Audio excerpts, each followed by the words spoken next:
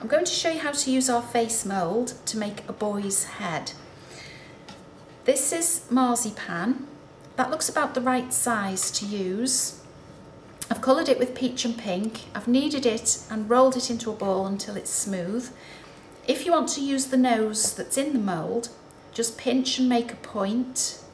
You don't have to do this if you're going to add a different nose on afterwards.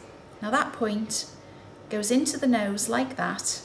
Now I know I haven't got to press hard because everything is in place. If you want the neck, you push down into the neck, pinch and push down into the ears. And again the other side, just pinch and press down. Now just make sure it's not going over the edge of the mould anywhere and it's a nice shape at the back. That is now ready to come out, so just turn that over and it comes out. I'm just going to push the ears back a little bit.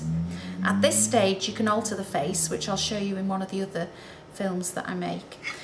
This has been coloured with pink, pink and peach. You can add brown for a darker skin colour to this colour. I've rubbed some pink powder colour really well into my brush and I'm just going to brush that onto the cheeks and build the colour up gradually.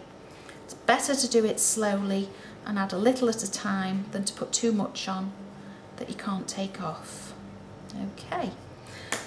So now I'm going to paint with some isopropyl alcohol and white powder colour, paint the eyes in.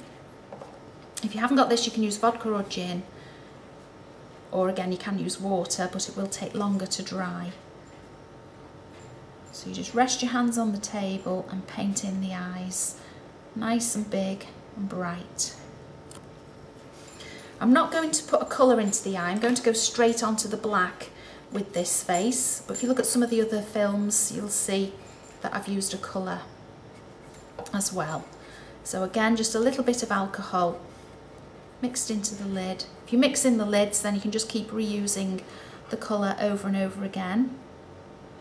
Then paint in the eyes. Like I said before, nice, big and bright.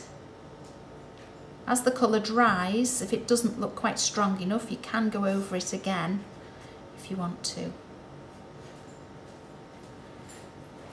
Then for the eyelashes, this time use water because the alcohol will dry on such a fine thin brush. The alcohol will dry too quickly for you to be able to paint with it. Now that brush will follow the outline of the eye and flick out and the same there. I've just turned it round so I can see what I'm doing and just paint a little line underneath. When I'm doing a boy's face I don't put eyelashes underneath.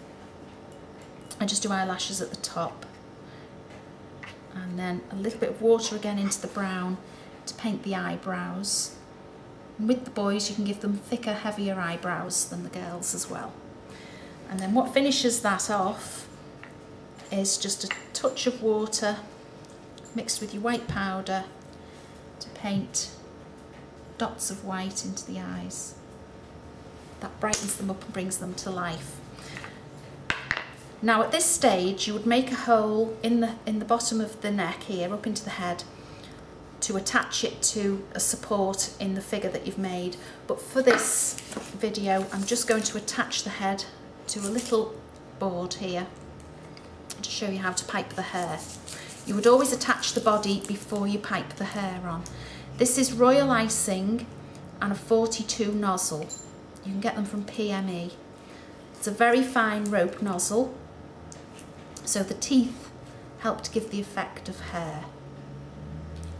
So you'd pipe all round the head and then across. I usually start at, at the lower half of the head work my way round and then do the top half of the head.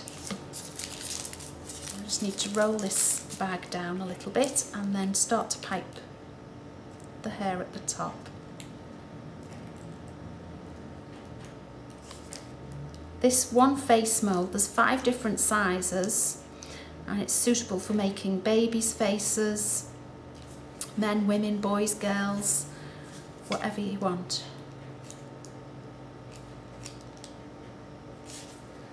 There's our little boy.